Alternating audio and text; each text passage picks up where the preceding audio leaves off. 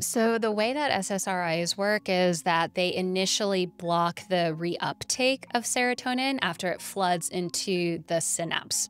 And this initially leads to higher levels of serotonin in the synapse at first. And that extra serotonin can lead to initially better mood symptoms. But here's the catch the body is really intelligent. It's always trying to come back into homeostasis, into balance.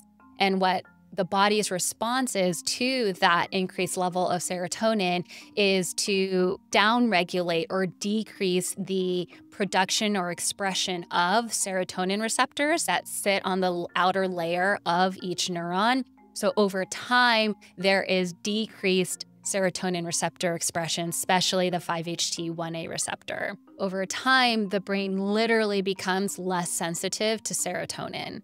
This adaptation is actually called tachyphylaxis, which is a rapid decrease in effectiveness of a particular drug because of the body's response in this way of downregulating or desensitizing someone to the drug's effects. And this is why SSRIs tend to not work in the long term. They can help for a short amount of time, but these drugs were never designed to be taken chronically for years like they are in so many people and why you start to see all of a sudden the drugs becoming ineffective. But then there's this physiological dependence that develops, and then a process of needing to taper off of the medication becomes the single foremost challenge.